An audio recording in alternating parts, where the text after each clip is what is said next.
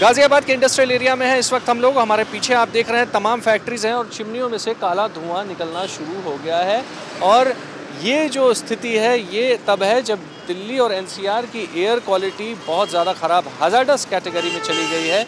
और यही नहीं, जो सैटेलाइट सिटीज़ हैं, जो पड़ोसी शहर हैं दिल्ली के, नोएडा, गाज़ियाबाद और गुड़गांव, वहाँ पर जो स्थिति है, वो भी गंभीर होती चली जा रही है। 500 के करीब ए रिकॉर्ड किया गया है।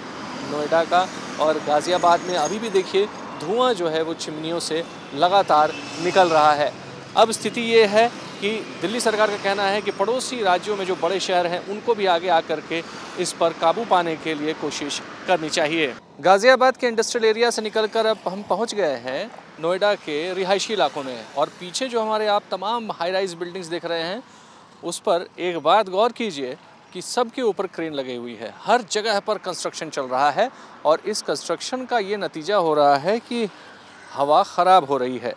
इस वक्त जो ए है, वो हज़ारस श्रेणी में है और जो उसमें पार्टिकुलेट मैटर 2.5 है, वो करीब 219 है और P M ten particulate matter 10 जो है, वो 302 है। जो पी एम टेन है, जिसकी संख्या ज़्यादा है, जो इस वक्त हवा में सबसे ज़्यादा पोल्यूशन फैला रहा है, वो कंस्ट्रक्शन का वेस्ट होता है और ये बहुत बड़ा कारक है पूरे उत्तर भारत में पोल्यूशन का। ये जो धूल है और ये जो कंस्ट्रक्शन है, इससे पूरा एनसीआर प्रभावित है और एनसीआर के आगे के भी जो हिस्से हैं, जहाँ पर भी ये कंस्ट्रक्शन अर्थवर्क चलता है, जहाँ पर भी सीमेंट का काम चलता है, वहाँ पर ये एयर क्वालिटी को ख़राब करता ही करता है। सरकार, जो भी प्रदेश में ये कंस्ट्रक्शन चल रहा है, चाहे हरियाणा में, चाहे उत्तर प्रदेश में, वहाँ पर सरकारों को इस पर नकेल कसना ही पड़ेगा।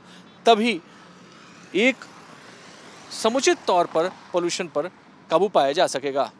कैमरा पर्सन अशोक भनोट के साथ अभिषेक आनंद नोएडा, आज तक।